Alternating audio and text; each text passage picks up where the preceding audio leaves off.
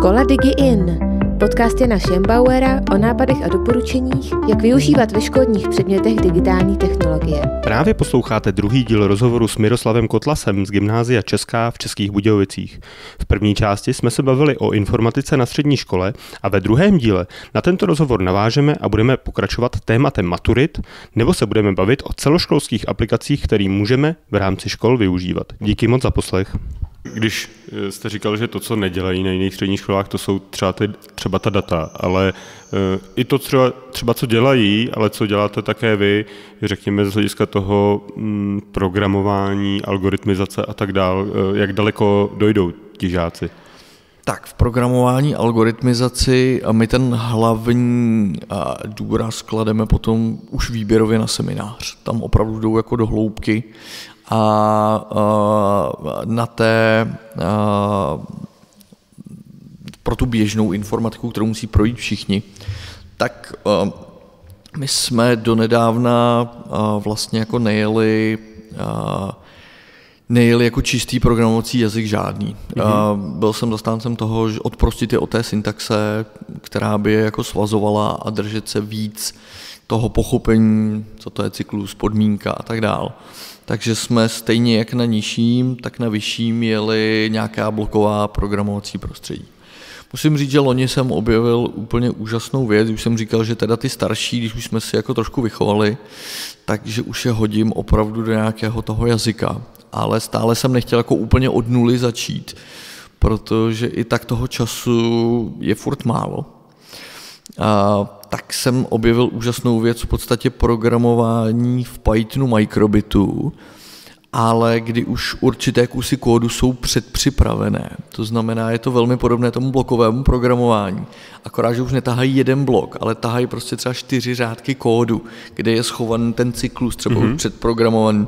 Oni ho upraví, dopíšou mu třeba tělo, a, ale můžou tak jako vyzobávat z té, z té syntaxe, si nemusí úplně jako pamatovat, ježiš, já tam zapomněl středník a on mi celý ten program jako stojí.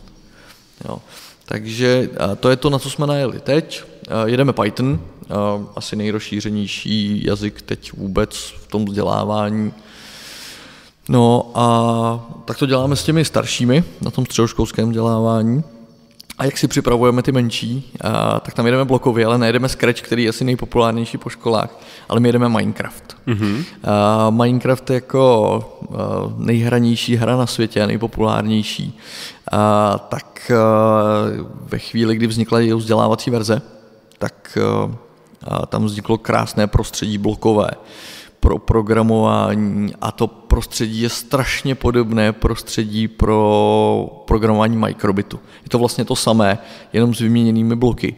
Takže my pak třeba v té sedmé třídě jedeme půl roku Minecraftu, a když skončíme s tím Minecraftem, tak dostanou do ruky microbit a v podstatě v téměř tom samém prostředí tomu navážou. A přesně tak, jo, my už známe ty základní algoritmické struktury a můžeme si jenom jako plynule krásně přeskočit jenom k tomu reálnému mikropočítači a oni pochopí, že od té postavičky, kterou si programovali, od té imaginární postavičky v tom Minecraftu, kdy měli pocit, že si hráli, najednou do ruky dostávají ten fyzický mikropočítač a ono už to bliká, dělá, teď k tomu připojíme nějaký servomotor, on se to najednou točí.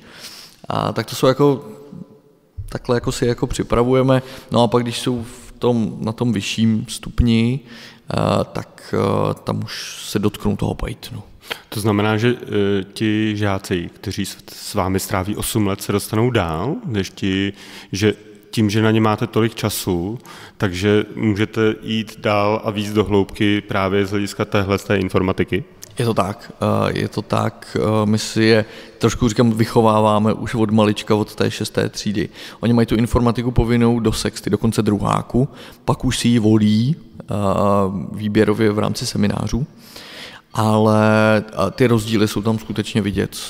Prostě ta naše čtyřletá masáž, i tím směrem, kterými si to jako představujeme, že by to mělo jít, což neříkám nutně, že je ten správný, ale prostě vím, na čem jsem si je vychoval a na tom můžu stavět. Není to o tom, že by, že by ty čtyřletáci byli o něco ošizeni, to bych neřekl, ale můžu si jít dovolit s těmi, eh, s těmi osmiletáky prostě hloubš, můžu některé ty věci eh, dělat, dělat tím náročnější, řekněme, a vím, na čem jsem to jako vystavil, že ty základy by tam někde měly být. A když se dostaneme na ten konec jejich studia, Musím se přiznat, že já jsem maturoval z informatiky, ale byl jsem spíš jako raritní student, že nás bylo pár, který, kteří maturovali z, mat, z informatiky. Je, dneska víc eh, těch žáků, kteří chtějí maturovat z informatiky a otázka dvě, jak taková maturita vypadá? A, tak já musím říct, že v tomhle jako nám dělají vlastně velkou radost, protože za posledních jako x let a si tady držíme poměrně jako pěkný standard naplněnosti semináře a i těch maturantů, což tady nebývalo třeba úplně jako před tím pravidlem. Já si troufám říct, že je to dáno několika věcmi. Za prvé ty technologie jsou jim blíž, čím dál tím víc. Za druhé ta věda bych řekl, že je čím dál tím zajímavější. Že když se podíváme zpátky, tak to bylo, že člověk, aby něco dokázal, tak musel opravdu jako toho umět jako do hloubky. V dnešní době celá ta řada těch věcí jako předpřipravených. A pravidelně jsme schopni ten seminář naplnit. To znamená, to je skoro až jako z 15-17 dětí mít v semináři. To nutně neznamená, že všichni maturují. Mm-hmm ale letos jsme měli, a teď já si neřeknu přesné čísla, myslím nějakých 7-8 maturantů, a což je vlastně jako strašně pěkné číslo. A jako, a aby vám vlastně 8 lidí z těch, uh, ono jich jde teda 90, tak 8, aby si jich to vybralo, a tak to jsou u nás jako čísla, která my považujeme za velmi pěkná. Všichni nám úspěšně letos odmaturovali, takže to považujeme taky za úspěch. A jak taková maturita vypadá? My jsme ji chtěli udělat takovou částečně i praktickou, ale tím, že jsme gymnázium, tak vyloženě praktickou maturitu, jako mývají třeba odborné školy, nemáme. Takže u nás ta maturita vypadá tak, že mají 30 minut na přípravu, vylosují si otázku, mají 30 minut na přípravu a ta otázka je složená ze dvou částí. Z části teoretické a z části praktické. V té teoretické třeba, když si vytáhnou programování, vytáhnou si rekurzivní algoritmy, tak musí popsat, co to je, jak to funguje. A té druhé části mají třeba tři příklady a oni z nich musí třeba minimálně dva jako vypočítat, naprogramovat. No a pak mají 15 minut klasické té, toho zkoušení, kdy nám nejprve poví něco o té teoretické části, pak nám představí ten program, ukážou, jako naprogramovali když pak my tam máme třeba schovaný ten kancelářský balík, tak zase dostanou něco z té teoretické části a pak tam je třeba víc kladen důraz na tu praktickou. Tady máš dokument, tady máš jako 10 bodů, tyhle ty body tam uprav, vysvětli nám, jak jsi to udělal, k čemu je to, proč jsi to udělal. Dalo by se říct, jaký podíl v těch otázkách tvoří právě, eh, řekněme, třeba datová část, programovací část, eh, jenom jak jsou, jak jsou ty otázky sestaveny? Nejvyšší část tvoří programovací, mm-hmm. a to je, myslím, asi sedm, máme asi 26 otázek, nebo 27 a myslím, že sedm jich je programovacích. Takže tam je kladen největší důraz, pak máme dvě otázky na tvorbu webu, dvě otázky na databáze, kyberbezpečnost, práci s daty, software, dvě otázky na hardware a pak tam máme otázky na ten Word, Excel, PowerPoint. Jak, jak se žákům daří tu maturitu absolvovat? Vy jste říkal, že to bylo letos dobré, takže jestli je to vždycky takhle dobré? Je to téměř vždycky takhle dobré. Zase je to dané tu skladbou těch dětí tady. Mm-hmm. To gymnázium v tomhle problémy obvykle jako velké nemývá. A já musím říct, že u nás jako to není jenom odraz informatiky, u nás jako máme téměř každý rok 99% maturantů úspěšných, takže, takže letos si myslím, že jeden jediný, že bude opakovat jeden předmět snad, takže to jako ty čísla jako každoročně dosahujeme velmi dobrá, informatika v tom není výjimkou. Jako. A jak je to z hlediska nějaké prestiže eh, toho předmětu jako takového? Protože za nás prostě to byl předmět, ve kterém jsme si hráli, eh, pak jsme se naučili pracovat s Wordem, s Excelem a tak dále, ale nebylo to vnímané jako prestižní. Na druhou stranu, média nás neustále masírují eh, tím, jaké jsou platy v, v programování, v, obecně v digitálních dovednostech a tak dále, že jsou tam výrazně nadprůměrné platy. Odráží se tohle u studentů, že třeba už právě na té střední škole by chtěli mít větší zájem o tu informatiku, protože v tom vidí perspektivní budoucnost? My se jim ji snažíme ukázat. Já jsem takovým zastáncem toho, že já jako učitel jsem tam proto, abych je to ne primárně naučil, ale abych jim ukázal ty cesty a možnosti. Krásně se to ukazuje, máme tady kluka, který v primě o programování nevěděl vůbec nic, je v kvartě a absolutně netuším, co tam dělá v tom počítači. Jo, ne, jako ten kluk mi jako mi utek tak míl, mílovými kroky, že už jsem jako řekl děkuju, tebe už nedoženu. Takže... Já, jsem, já jsem tady viděl nějaký diplomy na, na chodbě. Já musím říct, že diplomů máme spoustu, no. takže z celé řady jako soutěží a uh, je to o tom, že já se jim snažím ukázat ty disciplíny, a nejlépe všechny, nebo celou řadu z nich. Snažím se jim ukázat, že informatika nerovná se programování, že opravdu jako těch odvětví je tam celá řada. A trošku v nich vypěstovat jako, nevím, jestli se dá říct lásku k tomu předmětu, řekněme aspoň ne nechuť, ale a, tam je pak hrozně vidět, že když někdo, někoho tak konkrétní kapitola zaujme, tak v dnešní době stačí otevřít YouTube a on je za měsíc jako přede mnou. Ta věda je tak rychlá, že se ho nedá dohnat.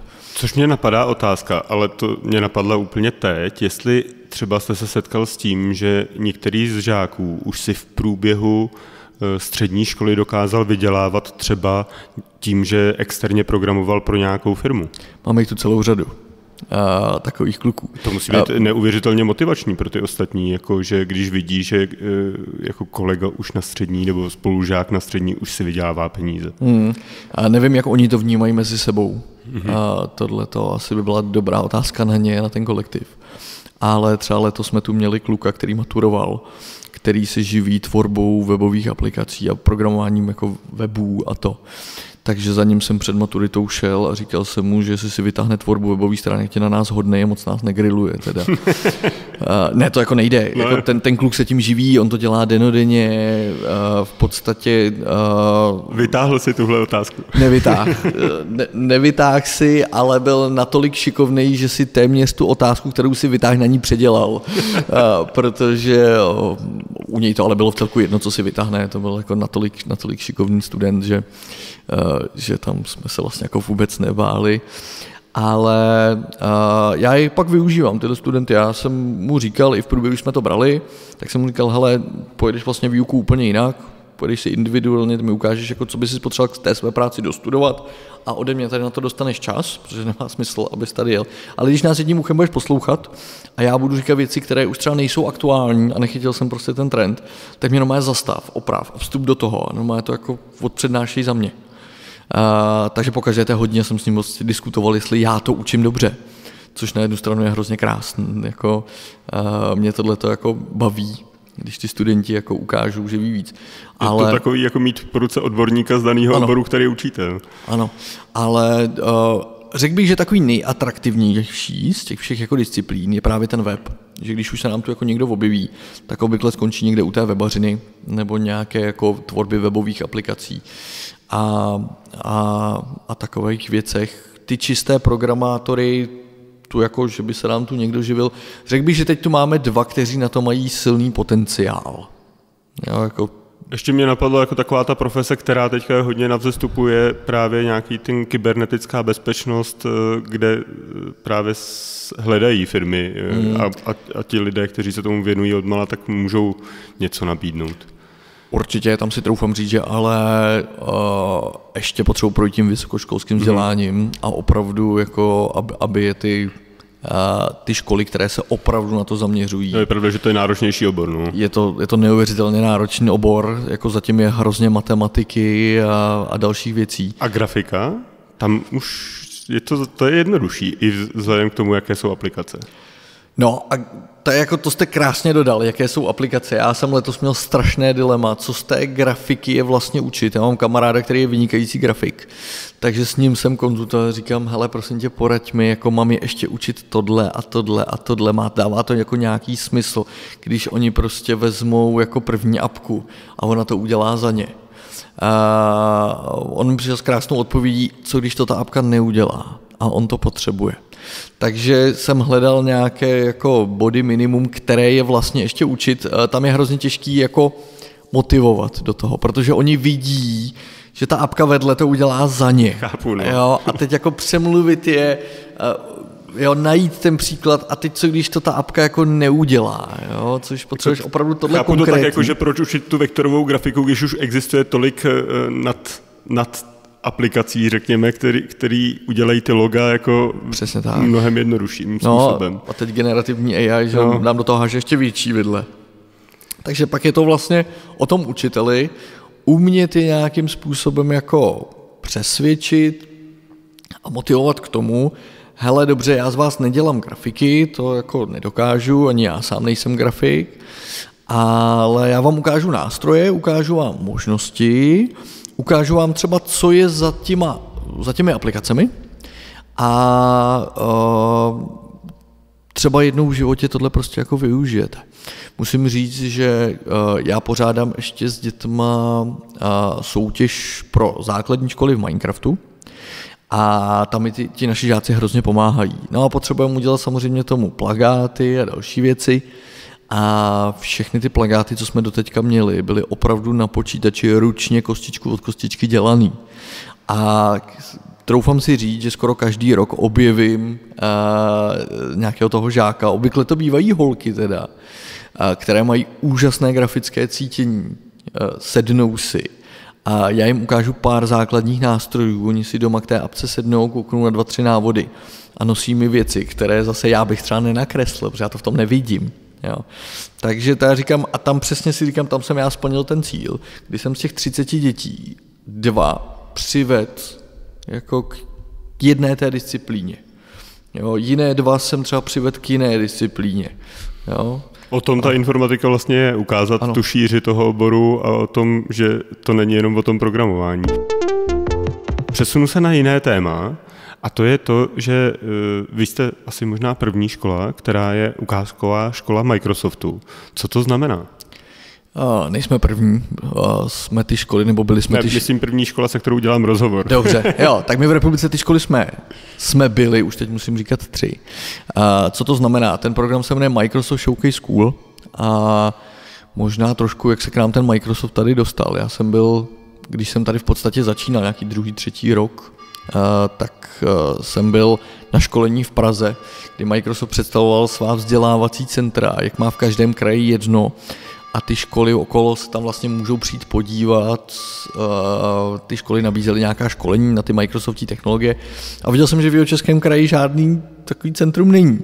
Tak jsem tenkrát šel za panem ředitelem, uh, přijela jsem nějaká ta divize toho, toho školství z toho Microsoftu a stali jsme se vzdělávacím centrem. A tam bych řekl, že jsme tu naší spolupráci odstartovali a pak ten program Microsoft Showcase School byla taková třešnička nahoře.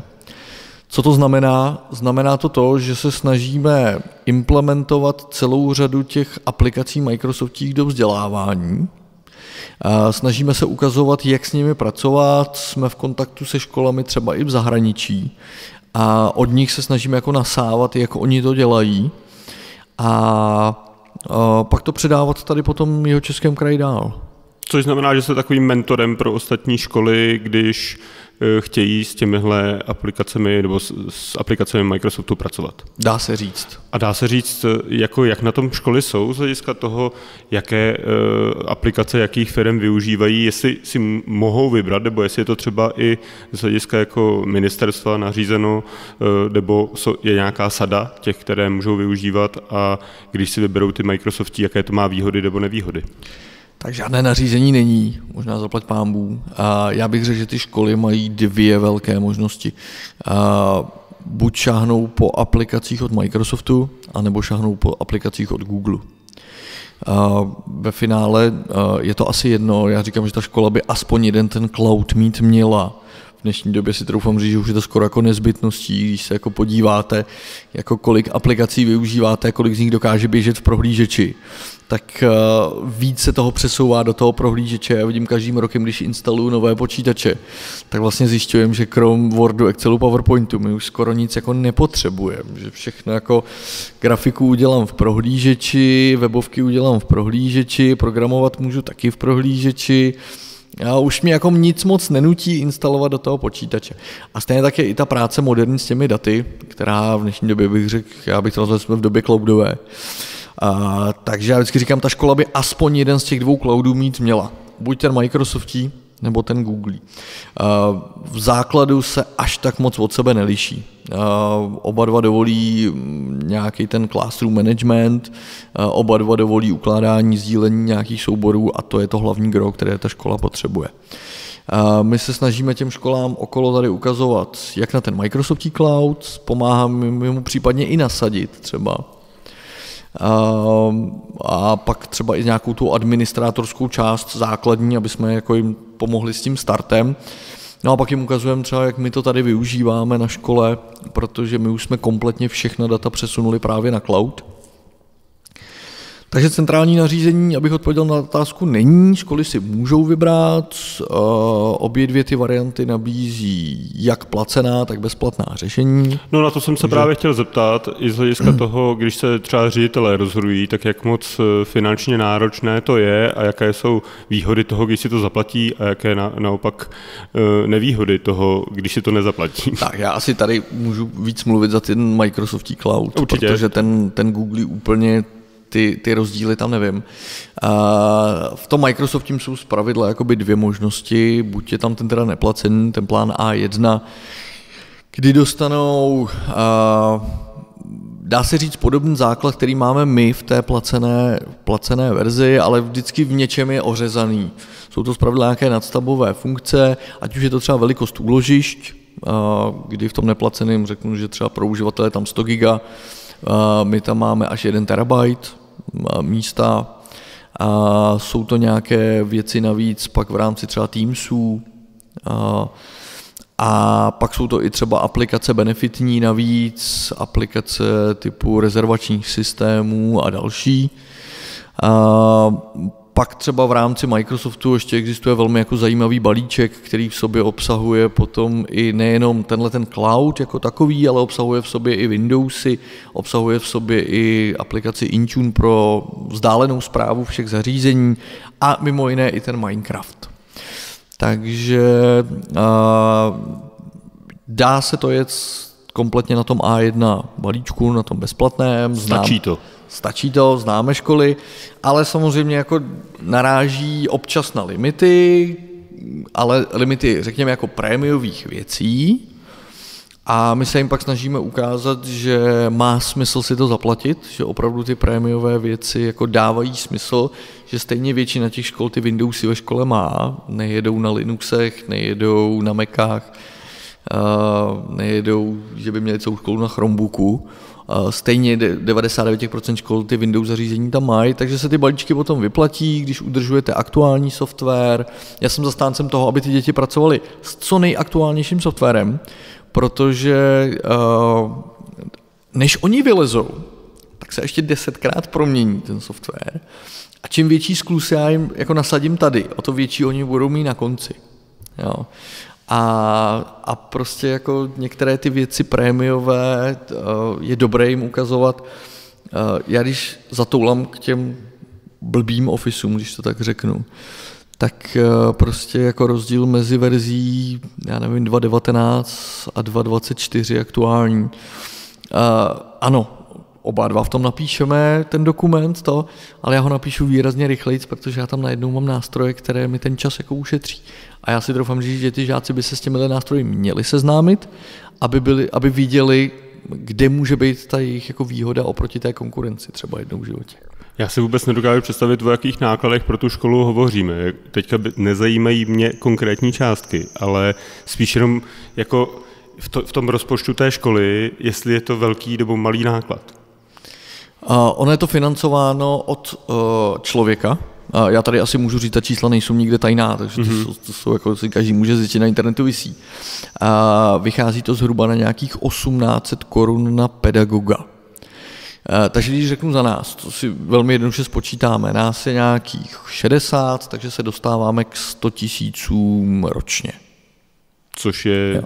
jeden měsíční plat se všemi zdravotními a sociálními a, a tak. No, ale, ale když jako budeme počítat trošku lépe, tak co za to dostaneme? Dostaneme pro 560 lidí, dostaneme třeba ofisy domů, Jo. A když to rozpočítáte, kolik vlastně měsíčně zaplatíte za člověka, tak se dostanete na absolutně jako směšní částky. Mm-hmm. Jo. Já jsem se právě spíš bavil o tom, jestli je to jako v milionech nebo právě ne. v těch dolních stovkách tisíc. No, je to, je to říkám nějakých 8... A zároveň i pro uh, menší školy je to vlastně zvýhodněné tím, že to je pro menší počet. No, vždy, vždycky uh, ty školy pak většinou kalkulují, čím víc žáků, uh, tím bych řekl, že to je výhodnější, protože při 50 je nás 500, uh, jo, při 50 lidech je nás 500 žáků, takže ten benefit je tam vidět jakoby víc, ale jsou to věci, na které dosáhnou i malé školy. A někdy ty malé školy to řeší naprosto záměrně tímto způsobem, protože za, za tou placenou verzí je schovaná v podstatě, dá se říct, i celá jakoby serverová infrastruktura. Takže oni pak nemusí, ty školy jako buď nemají třeba nájťáka, který by jim spravoval ty servery, eh, nemají na ten server a podobně a potřebují udržet nějakou vnitřní, ten vnitřní chod a e, v podstatě za nějaký měsíční poplatek těm školám jsme schopni jako nastavit, že najednou, hele, každý žák se přihlašuje svým účtem, na dálku jsme schopni vám ty počítače spravovat. Když si vzpomenete, že zítra tam potřebujete novou aplikaci, tak já z domova večer takhle ťuknu, vy to ráno zapnete a ty aplikace se tam po chvilce objeví. V podstatě si troufám říct, že to, co školy by měly v dnešní době řešit úplně nejvíc, je konektivita. Mít prostě, dokázat dostat do té školy slušný internet a zbytek omlátí o těch cloudech. A tím už se dostáváme k síťařině a k, k vašemu dalšímu oboru, který na té škole děláme. Musím říct, že s vámi by se dalo povídat hodiny a hodiny, ale pro dnešek eh, vám moc krát děkuji za rozhovor. Také děkuji. Mým hostem byl uh, Miroslav Kotlas z Gymnázia Česká. Naše posluchače zdravím, mějte se fajn a učte s radostí. Slyšeli jste podcast Škola Digi In Jana Šembauera. Těšíme se na vás u dalších dílů.